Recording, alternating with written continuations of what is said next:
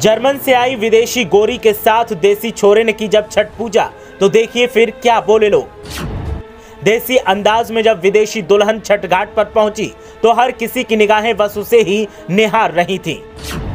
खूबसूरती की मिसाल और आस्था के प्रति समर्पण देख लोगों ने की दिल खोल कर तारीफ़। हिंदुत्व को लेकर जर्मन से आई हिंदुस्तान की बहू ने, जो कहा उसने हर किसी का दिल जीत लिया, और लोगों ने कह दी बड़ी बात। ये जर्मन की रहने वाली विक्टोरिया हैं, जिन्हें हिंदुस्तान इतना पसंद आया कि शादी भी हिंदुस्तानी से कर ली। और अब तीज त्योहार पर हिंदुस्तान की विदेशी बहू जब सज धज के निकलती है तो खूबसूरती के सब कायल हो जाते हैं।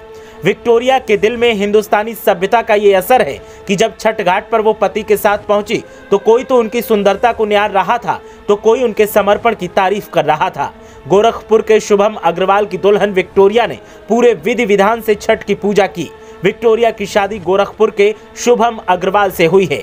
विक्टोरिया और शुभम ने हिंदू और जर्मन रीति रिवाज से शादी की है। छठ पर्व के दिन दोनों ने गोरखपुर के सूर्यकुंड धाम में पूरे विधि विधान से छठ व्रत किया और पूजा अर्चना की।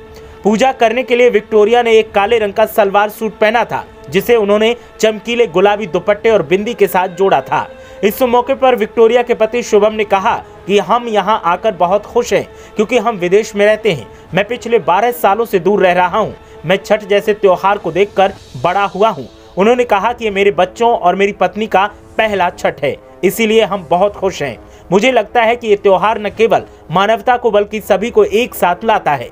भारत में छठ मनाने के अपने अनुभव के बारे में बोलते हुए विक्टोरिया ने कहा कि मैं वास्तव में इसका आनंद ले रही हूँ और मैं बहुत खुश हूँ कि मैं इस त्योहार को अपने पति के साथ यहाँ भारत में मना रही हूँ।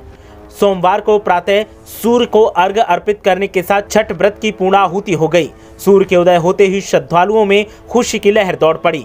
व्रतियों ने अर्घ अर्पित कर मंगल कामना की। जय घोष गूंज रहा था। माहौल भक्ति से उत्प्रोत था और इस माहौल के बीच हर कोई विक्टोरिया की तारीफ़ कर रहा था कि विदेशी होने के बाद भी भारतीय परंपराओं को निभाने का जुनून है, वो काबिल तारीफ़ है। विक्टोरिया की माने तो उसने शुभम से शादी ही इसलिए की ताकि वो भारत को करीब से जाने और भारतीय सभ्यता का हिस्सा बन सके।